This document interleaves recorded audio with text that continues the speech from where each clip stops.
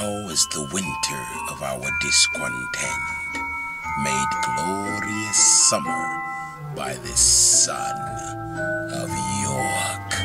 But I, that am not shaped for sportive tricks, nor made to court an amorous looking glass, I, that am rudely stamped and want love's majesty to strut before a wanton ambling nymph, I, that am curtailed of this fair proportion, cheated of feature by dissembling nature, deformed, unfinished, sent before my time to this breathing world scarce half made up, and that so lamely and unfashionable that dogs bark at me as I halt by them.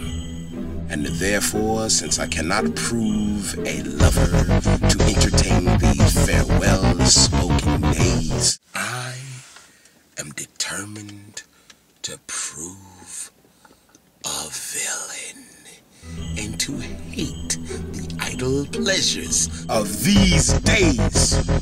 Plus, have I laid inductions dangerous by drunken prophecies, libels, and dreams to set my brother Clarence and the king in deadly hate, the one against the other. Dive thoughts deep down to thy soul. Here, Clarence comes. hey man, don't be slamming my damn door, man. What the hell wrong with you? Man, I'm upset.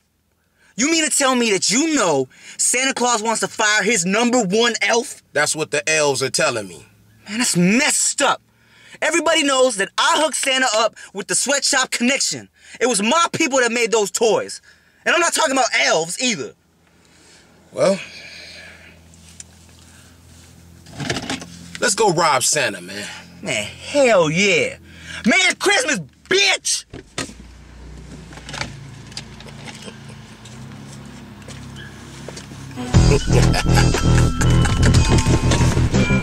Follow me on Twitter, but I probably won't follow you back because I look cooler if I don't follow a lot of people. Hit me up on Facebook, but on my fan page because I don't want a lot of IMs from people from Bolivia that I don't even know bothering me. Check out my website to buy my shit, man.